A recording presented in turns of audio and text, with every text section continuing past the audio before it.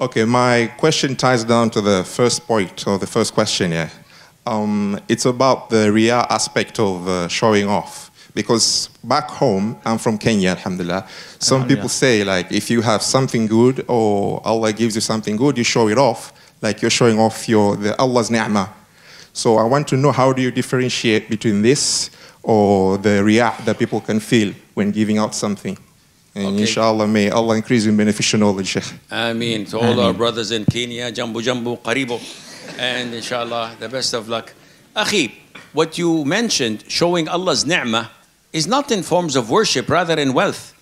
So you have torn clothes and stinking uh, uh, t-shirt, and Allah has blessed you with money. Why don't you shower? Why don't you wear perfume? Why do you put? I said, no, no, no. I don't want to show off. No, this is not showing off. Here you're supposed to show off.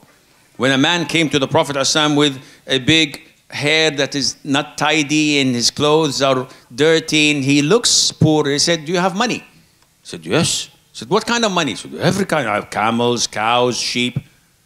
This is when the Prophet ﷺ, Allah loves to see the traces of his favors and blessings upon his servant. The, one, the guy went in, had a haircut, had a shower, wear new set of clothes, and came back. Okay, this is fine. In forms of worship, if the forms of worship are fard, we have Jum'ah now. Someone says, Oh, salam alaikum, where are you going? Um, I have some errand to do.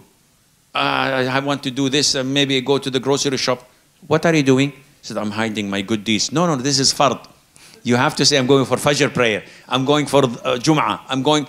But if you're going to offer night prayer or fasting, voluntary, or giving charity, yes, he gives with his right hand what his left hand does not know of, hiding it. So good deeds are different voluntary deeds than fard. I hope this answers your question, inshallah.